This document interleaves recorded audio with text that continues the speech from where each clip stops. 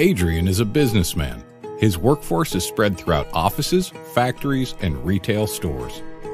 His employees need secure and reliable access to their professional applications from wherever they are and no matter what type of device they use. TSplus Remote Access solves this problem quickly and easily.